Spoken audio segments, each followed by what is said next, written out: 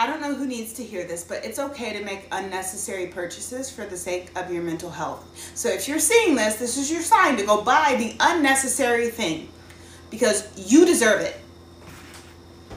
You deserve it.